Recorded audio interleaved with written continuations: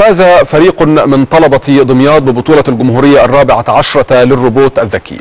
ويأمل السباق في بطولة العالم المفتوحة مباشرة للروبوت في لبنان والتي ستبدأ الجمعة المقبل بمشاركة متنافسين يمثلون سبعين دولة. 107 فريق من جمهورية مصر العربية شاركوا في تصفيات المسابقة الرابعة عشر للروبوت FIRST LEGO League مصر والتي أقيمت في مقر الجامعة البريطانية بالقاهرة ليحصد فيها الفريق الممثل لمحافظة دمياط الفوز بتطوير مشروع خصص لمواجهة المشاكل التي يتعرض لها رواد الفضاء. كنا بنجرب كل الأفكار بحيث إن إحنا ناخد الأفضل والأحسن لينا دايما. وكانت من ضمن المشاكل التانية اللي بتواجهنا إن إحنا كنا اختلاف الأعمار ما بيننا. يعني مثلا عندنا أكبر واحدة فينا رايحة ثالثه ثانوي وأصغر واحد فينا رايح ستة ابتدائي. ففرق السن اللي بيننا مثلا أنا يعني هي مثلا دارسه حاجات الصغير مش دارسها فإحنا كنا بنحاول نبسط كل الأفكار بحيث إنه يبقى متابع معانا وفاهم كل كلمة بتتقال وكل حاجة بنعرضها لل coaches بت... لل judges بتاعنا بتوعنا.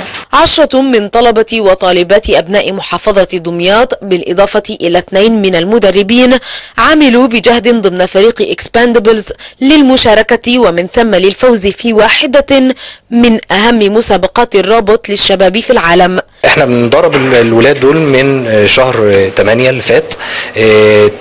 تم تدريبهم على مدار ستة أشهر في مجال التصميم و mechanism الحركة. الولاد في هذه المرحلة بيتم بيتم رسم استراتيجية ليهم على الترابيزات. بيتم فيها رسم كمان mechanism الحركة بتاعهم ومجال التصميم بتاعهم.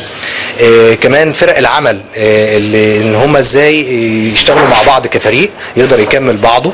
المسابقة العالمية FIRST LEGO League International والتي تعقد هذا العام بلبنان في منتصف يونيو الجاري تعد مسابقة عالمية لبرمجة وتصميم الروبوت بغرض خدمة الإنسان وتنمية مجتمعاته. إزاي أقدر أنظم شغل أنظم شغل الفريق؟ وتعلمت مهارات البحث العلمي. اتعلمت إزاي أعمل كود اتعلمت أساسيات الكود إزاي يتعمل. آه بعد كده أنا كان دوري كان أكبر دور ليا كان على الترابيزة. آه أنا شغال في programming في الأول كانت الأكواد بتاعتنا آه مبنية على حاجات بسيطة. بعد كده قدرنا نعمل لها develop ونطورها وتبقى أكواد مركبة شوية بحيث إن هي تأدي المهام اللي إحنا عايزينها بشكل أدق. يطمح طلاب دمياط للفوز بمنحها الضخمة من مختلف الشركات العالمية بغرض تنمية قدراتهم لبناء مستقبل أفضل عن طريق التقنية الحديثة.